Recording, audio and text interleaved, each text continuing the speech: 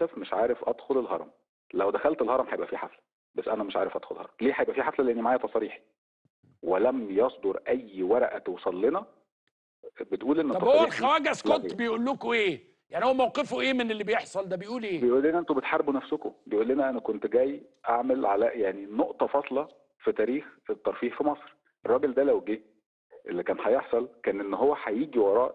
ده بداية series من الحفلات. ال plan اللي محطوطة إن ده بداية series من الحفلات ده بداية سلسلة من الحفلات.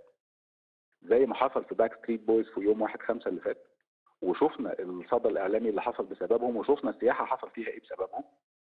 طب السياحة السياحة حفلات. موقفها إيه معاك؟ يعني هي المفروض برضو من الناس اللي مستفيدة. بكل ما أوتت من قوة ولكن السياحة مش جهة رفض أو قبول.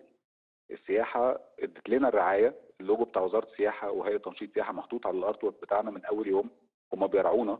ولكن هم مش يعني انت عامل. حفلة برعاية وزارة السياحة ومش قادر لغاية دلوقتي تؤكد إذا كان الراجل هيطلع ولا لأ؟